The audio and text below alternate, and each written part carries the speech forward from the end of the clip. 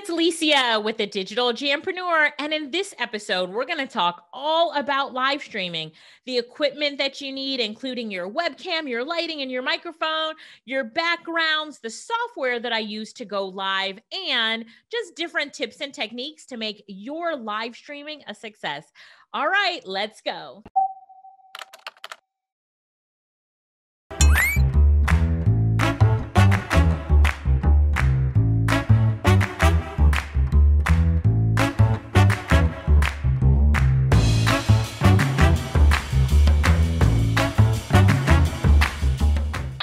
Today is an amazing day. Do you want to know why? Because today we're going to be talking about what? Live streaming.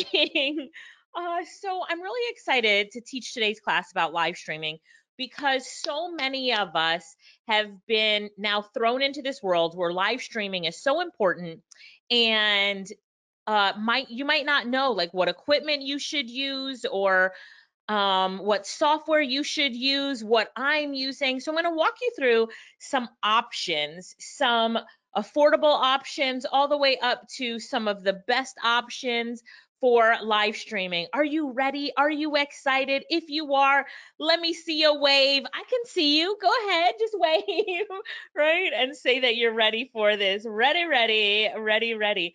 Let's talk about live streaming. So globally, oh, where's my globe? I'm gonna reach, reach. Yeah, here's my globe. so we've been live streaming for years. In fact, I had my first live streaming account back in 2005 with a company called GoToWebinar. But as the pandemic hit uh, globally, so many people were forced into this situation where they really had to understand and learn live streaming. And a lot of us are still learning it um, really quickly because we now had to work from home using the webcam and our devices as the ways to connect with others throughout the world. Now, I was in Malaysia, I was in Asia in, uh, in January of 2000. So then I was, then I flew from Asia all the way back to the United States to go to an event in Atlanta. And then I flew from Atlanta to North Carolina.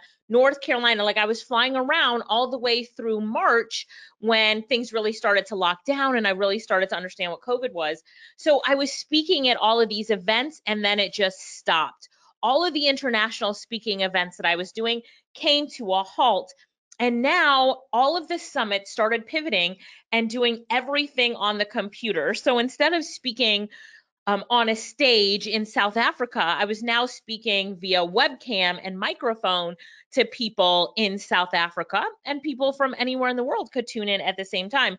So, as we've all been thrown into this new world of live streaming, it's so important to know um, you know, the different equipment that you should have and the different things that you could do to really make live streaming a success for you. Okay. So now let's talk equipment. Do you have any equipment right now for live streaming? Maybe you have good lighting or webcams or a microphone or a background. Do you have anything yet? If you don't, it's okay because we're going to go through that now. But having the right equipment is essential. Like it really is essential having great audio makes a big difference as I just move the microphone closer to me. but having great audio really does make a difference, as well as your lighting and your webcams, your microphone, and your background. So we're going to dig right into it, take some notes, get out a pen and paper to take notes.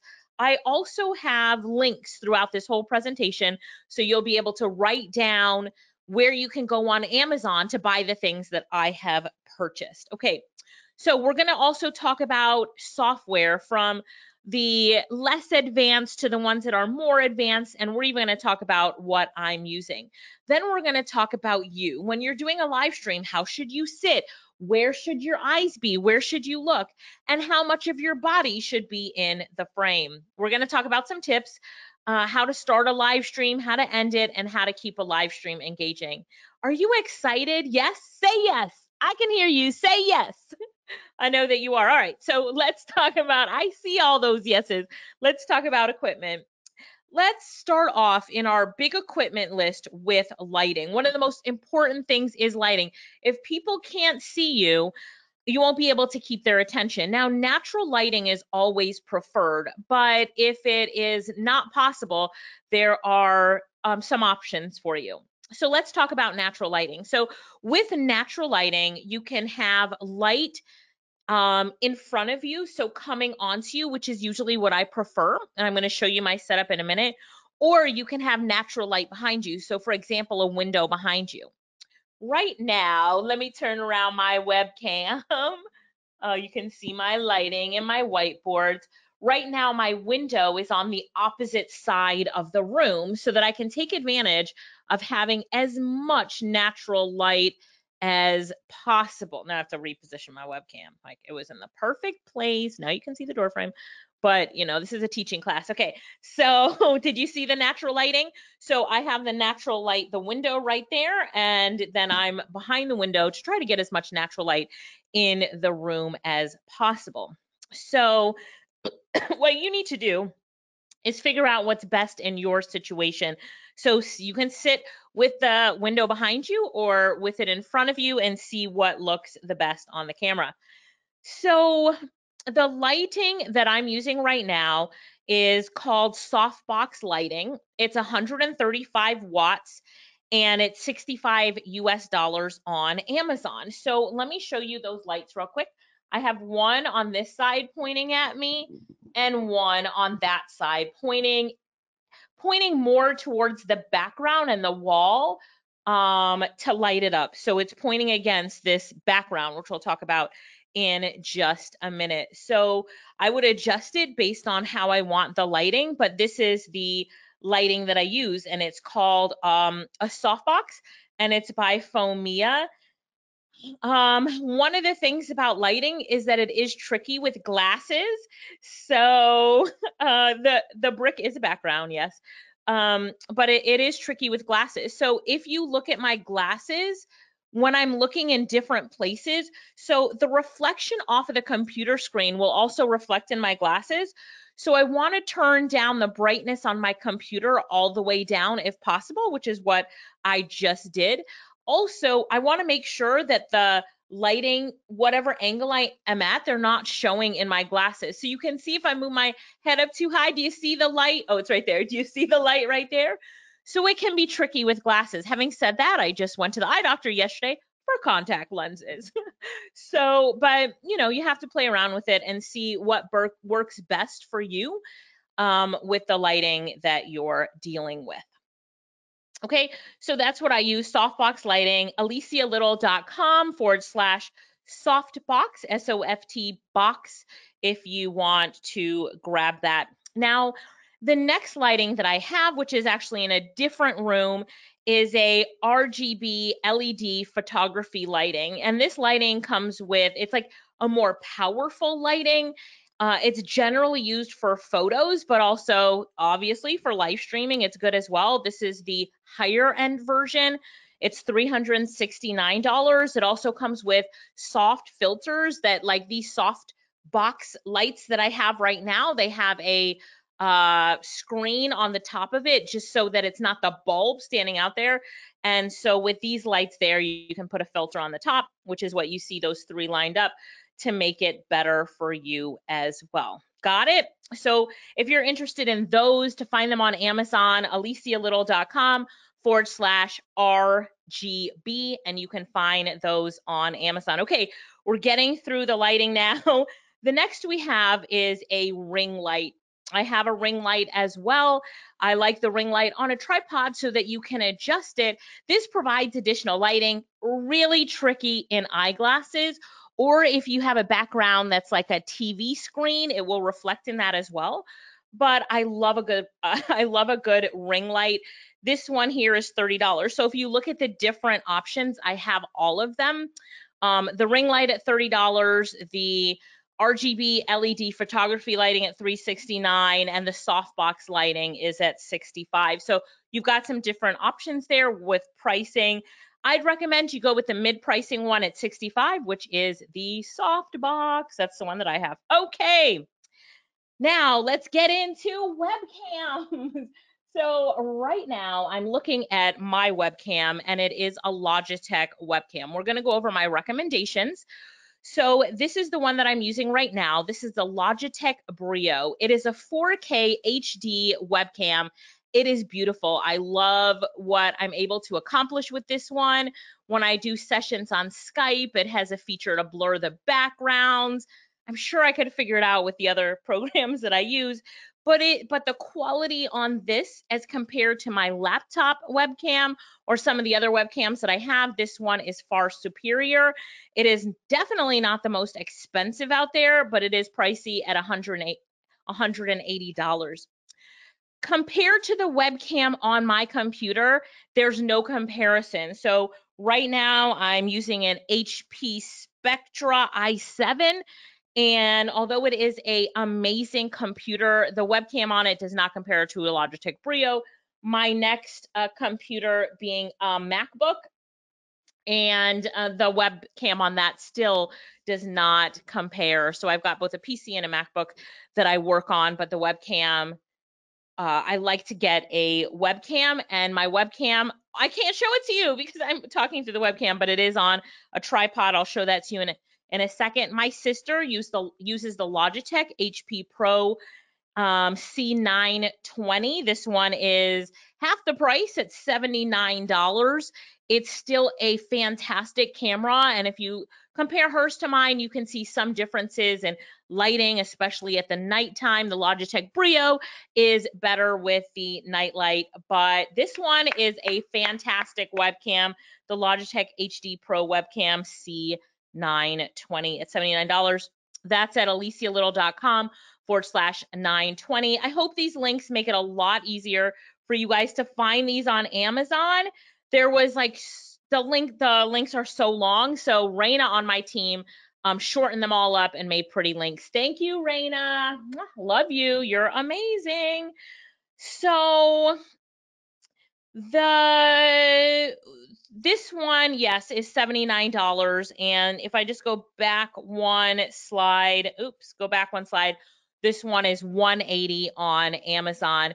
Uh, I bought mine during the pandemic and they were out of stock for like crazy. I bought mine for double this price during the pandemic, but now price has gone down. It's it's $180. I do recommend Logitech as a company. I have had I have tried others, had my team members try others, and Logitech is superior. One of the things that I recommend is a webcam arm. Can you see how this would be amazing to use? Right now I have my microphone on a microphone arm, but a webcam arm, this one is just $29. So when the webcam comes out of the box, they want you to put it on the top of your computer. And now you're like looking down at the webcam or you have to put your laptop up on boxes to look up. Don't do that. Do not do that. Get a tripod or a webcam arm. Here's a great one for you. This webcam arm is $28. You can go to alicialittle.com forward slash arm, alicialittle.com forward slash arm, and that will definitely help you. And let me just say it one more time. Do not take the webcam out of the box, pluck it on the top of your computer, and look down like this or like this so that you're looking in the webcam. I can adjust this webcam, you know, with my seating and how I feel. Um, and with what I'm doing, it's easy to move back and forth. When it's on one of these webcam arms, you can position it. If I had this with me, I could have turned it around the room real easily. So there's a lot of options. This is the one I like. It's only $28, alicialittle.com forward slash arm. Got glad you guys got that. The next one, I'm using this one right now. It's a tripod, so you can put your webcam on a tripod. This is actually the one that I use here, which can be found at alicialittle.com forward slash tripod. Why do I like this tripod? Well, they show that you can use it with the phone, which I have this tripod again. I was wondering if, if I have it around here. It's over there across the room. But I have it for um, my phone as well and I have one for my webcam, two separate ones. I didn't put the price on here, but I think it's like 18, 19 dollars, something like that. But now I can move my webcam up and down. I can adjust it So it, you know, this one has a 360 rotation ball. So I can adjust the webcam. Hang on, let me just show you. I can adjust the webcam, like I can move it up higher and then adjust it to look down on me if I want that look. So now when I'm looking up, uh, I don't like the door in the frame, so I got to bring it closer. Now when I'm looking up, I'm like, hey, everybody, it's Alicia. So it's just a different look. So if you looked at the webcam right now, it's tilted down towards me. So it's completely up to you how you want the webcam to look. Do you like it tilted down towards me like that? I could go even higher. I'm on a tripod. Let's have some fun here. I'm on a tripod. Now let's tilt it down even more. So now I have this look, getting the door out of the frame, coming over more, coming closer. And I'm like, hi, everybody, it's Alicia. How are you doing? And I'm really looking up into the camera. So the look is totally dependent on what you want. Usually I put it lower and horizontal to me, something like that as I'm looking at it. So we'll go over positioning, how you position yourself in the camera and stuff in a minute. So got it? Everybody saw? Yes, you saw that? Yes, yes, yes. Okay, great. So tripod or webcam arm. All right. And remember, a webcam can only do so much. If you don't have good lighting, you know, the Logitech Brio is going to be great in low light, but if you have bad lighting, come on, it's not going to do good overall. So remember to always check the lighting. The Brio operates in low lighting, but do your best to get your lighting on point. If people cannot see you, they are going to leave your live stream, okay? All of these tips are really great too for when you're making a YouTube video. So you're doing a YouTube video, you still have to make sure your audio quality is on point, your lighting is on point. This Shure mic, I'm going to show it to you in a minute, but I have to make sure that it's pointing towards me because this it's this type of directional mic. When I have another mic that sits like this and I have to make sure that the forward facing part that's flat is pointed towards me. So you also have to understand your equipment. So I hope that you're liking this class so far. We're going to keep going. Let's talk about your microphone. So audio quality is so important. I just want you to shout it out and tell me, do you agree that when someone has poor audio, it's very hard to focus on them? You want to change the channel, change the YouTube video, get off that live stream. If their audio isn't good, if you can't hear them, bye-bye, you're gone. anyone anyone agree with me on that one? So, do you notice how you listen more intently when you can hear someone clearly, when their sound is great? Of course, you do. So, what microphone am I using right now? I'm using the Shure MV7 USB podcast microphone. My friend Deb Cole, Coach Deb, got me this microphone. I thank her so much for it. Um, this microphone, though, had I bought it, would be $249. I actually did buy one for another studio that I have. And so you can buy this at alicialittle.com forward slash sure, S H U R E. And it is a great microphone. It comes just how you see it. So I already had this microphone arm from my previous microphone and I connected, let me pull it up. You know, it connects right here. And this microphone arm is connected to my table. So it connects it's uh, on my table. I'll show you that arm in just a minute, the exact one that I'm using. All right, let's keep going. For this microphone, this was the microphone that I had, which is a mid-range microphone coming in at $59. This is the Fifine USB podcast microphone. You can go to alicialittle.com forward slash Fifine to grab it. It's only $59. That is where to grab it on Amazon. I did like this microphone. I had great quality. People thought it was a Yeti microphone, which is a really great brand, which I don't own, so it's not in this PowerPoint. But if you're going for a great one, get the Shure. Now, um, so this was a good one. I also took that microphone and put it on this microphone arm, so it was sitting like this. And then this is the one that I previously had um, because it packs nicely in my backpack. so it is a travel microphone and it's only 30 bucks. So if you're on a budget, this microphone will be sufficient. A lot of people were impressed by this microphone quality. It's called the XIIVIO. I don't know. That's, I guess, Roman numerals, whatever. It, but it's only $30. So what I want you to pay attention to if you get this microphone is look at that image that I have right there. Do you see how the logo is here? And I'm showing you that you need to have this part of the microphone facing your mouth because that's where it picks up. So if it was turned around the other way, you're not going to be picking up the microphone and the quality is not going to be that good. All right. So um, yes, so great. All right, here, let's keep going with this presentation. So then you want a microphone stand, an adjustable suspension stand is what you're looking for. Mine was only $23. I checked this morning, it's still $23 on Amazon alicialittle.com forward slash mstand. You're going to find stands ranging from $23 to hundreds and hundreds of dollars. I just wanted to keep it simple. This stand does its job. It has different levels of tightening for my adjustment and how I want the stand to move, but I'm overall extremely happy with it. And at $23, you can't you can't say that that's not a good deal. One of the things I like about this stand, I disconnected it from mine right now, but it also has a stand for your phone.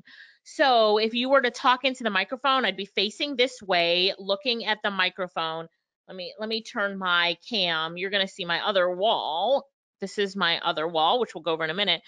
But um, it has a filter, a pop filter, which you could put in front of it, but the Shure mic already has a great filter and it's a condensing microphone, so I put that back there. But it has a piece right here that connects for your iPhone. So if your iPhone has a um, what do you call that teleprompter on it? You could be reading the teleprompter and talking into the mic which is great for podcasters. And then it's adjustable you know you can see how adjustable this uh, stand is right here. Did you like that stand? Do you like it? Yes yes? Okay great.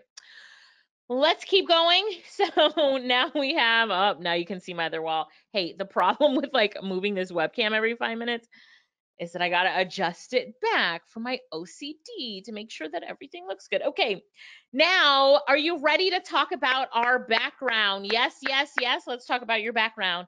So you can get a real background, um, or you can have a virtual background. And you know, like Zoom has those virtual backgrounds. And let me just say, I do not like virtual backgrounds. Let me just repeat it again. I do not like the virtual backgrounds, especially when like sometimes part of your head gets cut off or it gets pixelated around you. We've all seen those virtual backgrounds somebody uses and they move their head too fast or their lighting is off and their head's all pixelated. Nobody wants to see half of your brain gone because you're using a virtual background. So what I recommend are photo backdrops. Now, this one that I have right here behind me, it's not a real brick wall. It is a it is made for photography and videography. The interesting thing about it is when you actually look at it, like how I'm looking at it right now, it looks off focus, but then in the webcam, it looks perfect. I don't know how they do it, but that's one thing. When I opened it up, I was like, this looks so off focus, but it was perfect. So this one comes in all different sizes. I made the mistake of buying one that was like seven feet by five feet, which sounded like a lot to me because I don't know, I'm five feet tall, I guess. But anyway, it was not sufficient. And when I was on webcam, you could see half of the wall at the bottom. Like over here would be white, and couldn't see up top. But this one goes complete floor to ceiling for me, ceiling to floor, floor to ceiling for me, and had plenty to cut out that was extra. So, sorry, webcam. I'm just readjusting it as I move it around. So, um, I got the 12 feet by 10 feet and had to cut it off and throw that extra away or could have used it for something else. But I recommend that you measure your wall and get it to fit as much as your wall as you can, um, or go overboard so that you have to cut it away. At just $56.88, this one was the best deal that I could find. You'll find back backdrops that range in the hundreds and hundreds of dollars, but this one is um you know is is not bad. So let's see. Okay. So let's talk about my next backdrop. You ready for that one? This is my retro black brick wall backdrop. I just wanted to say that out loud. Okay, let me turn my webcam and show you as I talk about it. So now you can see this, it, it is a black wall. Um, and so sometimes I I, you know, have to make sure my lighting's on point, but sometimes I just love a black wall. Even if I'm wearing a black top, a black wall will make me pop. Um, so I really do like to have the black wall backdrop. I also think it's professional. When somebody's watching you, they're they I feel like their eyes focus on you more than when you've got a lot of stuff going on in the background. So um, for my backgrounds, I have had stuff on the wall like shelves and books and blah blah stuff all over it and flowers. Sometimes that's good. Sometimes I just like a plain background. When it's black, I usually just like it plain. I do have a neon light that I'll put up in some stuff um, sometimes as well. But I find for when I'm presenting, I like there to be the least amount of distractions in my background as possible for my niche and what I'm presenting. When I had books in my background, I would get messages from people later saying, What was the fourth book down? It looked interesting. I'm like, the fourth book down. Were you listening to anything I said in the presentation? It wasn't about the books on my shelf. And I'm like, oh, I'm just distracting people. Then they ask me what this is over here on this shelf. And I mean, we're getting support tickets about what's on my shelf. So I'm like, that's it. The shelves are gone. so no more shelves. And I just have the backdrops. What do you guys prefer? Do you guys um, love the backdrops or do you like the um, do you like it when somebody has a bookshelf to each its own and everybody's audience is different? But my preference is a plain wall. Okay, size matters. what do I mean? Look on both of the the slides that I have here about your backdrop. What am I showing you? The different sizes to get. This one, a 12 foot by 10 foot. This one, a 10 foot by 8 foot. The 10 foot by 8 foot did fit on the wall, but I had I have a few inches on the side that didn't fit. So I wish they would have had one a little bit bigger. They didn't. If I really wanted to wrap around or make it bigger, I would have ordered two.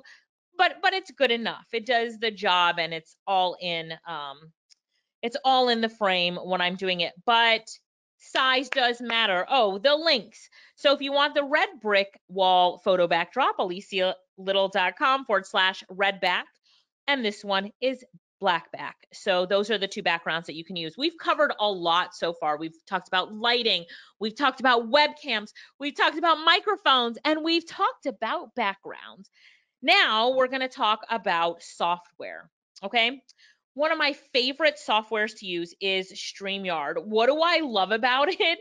Um, is that you can have multiple it, this is like having your virtual TV show and it live streams to your Facebook page, your Facebook group, and you can have multiple people inside your stream. I think I've had eight people in a stream at once, all having a conversation like the Brady Bunch. Um, and what I love about it is that you can also share your screen. So you can do a presentation like this and share your screen on StreamYard. I find StreamYard to be very engaging. So on StreamYard, I can tell people, all right, tell me what you think in the comments. And when they comment, that comment appears wherever it's also live streaming and in my StreamYard backend so that I can put it up on the screen and we can also see people's comments. I can show it to the whole world. People love it when you call out their name. They love it when you showcase their question. So I love StreamYard because of that. If you've seen me on live streams, then you've seen me use StreamYard. If you haven't seen me on live streams, that means that you're not paying attention and you need to do that. Um, so uh, yes, it has a multi-chat function as well. My friend Ryan told me this um, that this was important to mention. So you can have Like I'll have Facebook, YouTube, and Twitter, and I'll be streaming on all three platforms at one time. And it will bring in the comments from all three platforms, and I will see them in my back office, and I can push them to the screen or address them. So thank you, Ryan, for reminding me of that. It has this multi chat function that is beautiful with StreamYard. Um, let's see. Uh, let's see. I love StreamYard. Okay. So the next thing I love about StreamYard is that you can have some like backgrounds to the frame. So while you're in there, it it can have a background around your you so that you can get some logo and branding and it, it also has like overlays and different things that you can do which is great um, you can also play commercials. So while you're on StreamYard, if I had a commercial for one of my courses, I could play the commercial in between um, interviews, or I would say something like, all right, everybody, right now we're going to take a commercial break. And I would push it to commercial, and I would come back after the commercial break and say, all right, we're back. So now I can be advertising my stuff in between a live stream. It is also amazing. It's also amazing. My friend Patty, one of the things that Patty loves about StreamYard is that it also has some amazing backdrops. So you can have like a grand piano in your background and it looks more real than a lot of the Zoom backgrounds and that sort of stuff. So um, StreamYard is a platform that sits alone by itself. So you don't use it with Zoom or GoToWebinar or any other software. You just use StreamYard. It has to be used on Google Chrome. So you log into Google Chrome, you log into StreamYard, and then you connect your destinations, the different places that you want to stream on, and then you press go and you stream on those places. And then as you're streaming on those places, it um, it has that multi-chat functionality and all this other stuff in it. I've used it for a while and I will tell you that it continues to improve. The first time it had the video feature, it was like only two minute long video. I was like, what? Now it's 10 minutes long. I prefer it was like 30 minutes long, but okay, I'll, I'll live with 10 minutes. So it does broadcast to Twitter using Periscope. So I use my Periscope account, which is connected to my Twitter account, and I live stream on Twitter that way.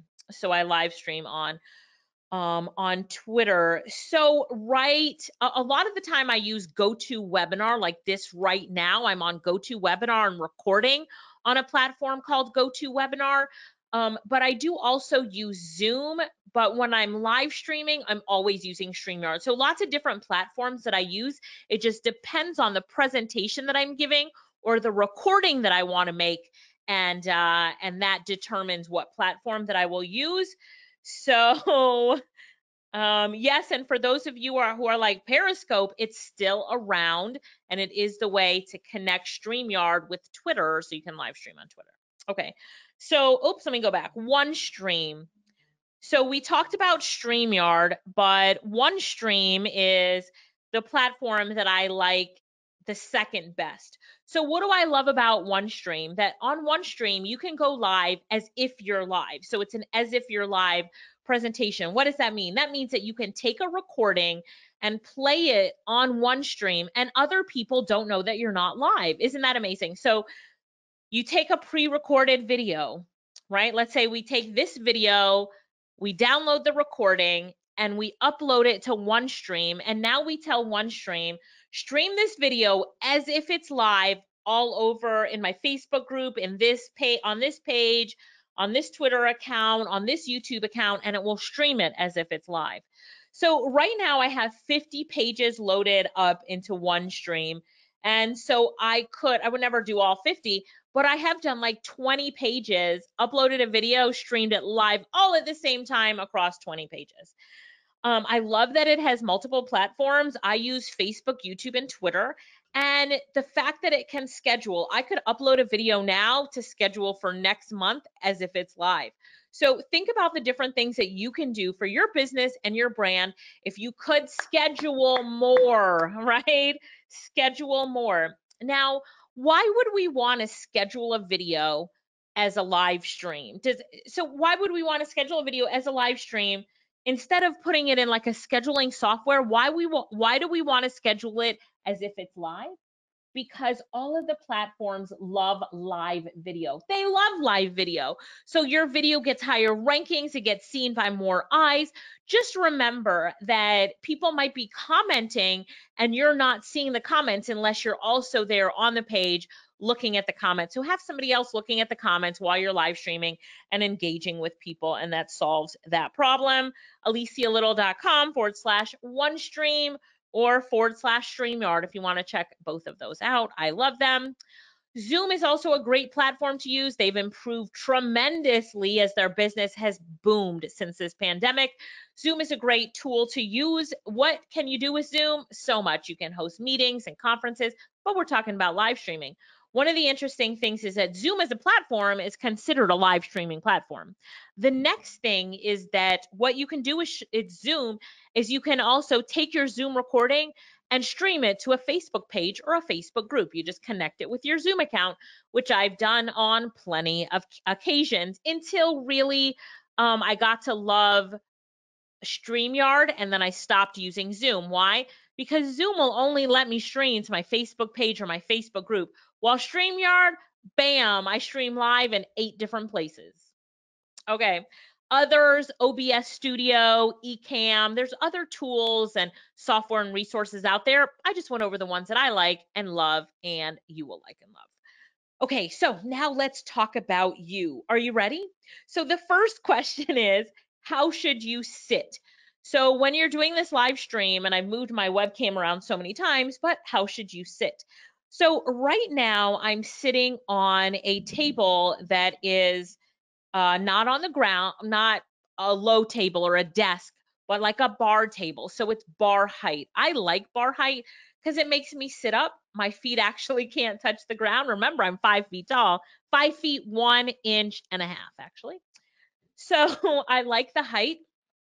I also know that it makes me sit taller and have better posture, right now I'm sitting on a chair that has a back, but the other chair that I have next to me is a stool.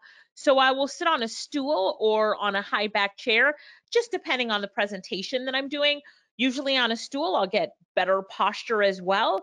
Having the best posture uh, available is important. I also have a back brace posture supporter. If you guys have seen those, they're all over everywhere. But sometimes if I feel like I'm worried that I'm going to slouch, maybe I'm tired getting on a live stream, I'll put under this back brace that forces my shoulders back and for me to sit up straighter and then I look better on the live stream. So, but you should sit up high. How much of you should be in the frame? That really depends. I've done live streams where my whole body is in the frame because I'm selling clothes. But usually, for most of us speakers, as we're doing our live stream, we want just about this much of our head to be away from the top, right? And I like to have my upper body in the picture. Now, it also depends on how much of the room you want in the picture. So I don't want my door in the picture. So I'm going to position myself, you know, I could move over a little bit more. Oh, see, the stool would have been easier. That's not, this chair not moving. But I can move over just a little bit more or position the webcam to where I'm not seeing the door. Um, and then it's totally dependent on you whether you want your mic in the frame or not. I like to have my mic in the frame because I believe that it adds an element to my video. Look, I'm talking, you see me, I'm talking, it's the mic. I don't know. I just like the way that it looks. It gives me more of that radio show appearance, but that would be something um, totally up to you on how you want to appear with the mic. So this is how how you should sit. You know, your upper body in the frame, sit up straight and have just a, a peak right here above. Now, let me show you what it looks like. If you're if you're cutting off your head, that doesn't look good. Where's the rest of my head? And then if you go too high up, let me show you this. Right? If you go too high up, this is a mistake I see people make all the time. They have like so much, oh, come on, webcam. Oh, yeah, all right. They have so much space on the top. You could put another person up here. And so you're not um, you know, in the frame as much as I would like. See, now I'm talking to you, right? And so we have a better relationship at this angle. Um, the next question is where would you, where do you look? So um, I have slides going on right now on my computer, which is below this webcam. Let's see if we can, if I can show you. So you see there's my computer. So my computer is below my webcam. Now I do not want to be looking at my computer. All right, let me present to you like this. Hi, everybody, it's Alicia. Okay, today we're going to be talking about live streaming. We're going to go over, or like this. Hi, everybody, it's Alicia. Let me do that again.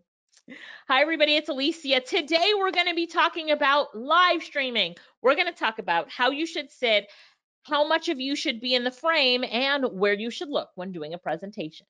Do you see the difference in eye contact? What a difference eye contact makes.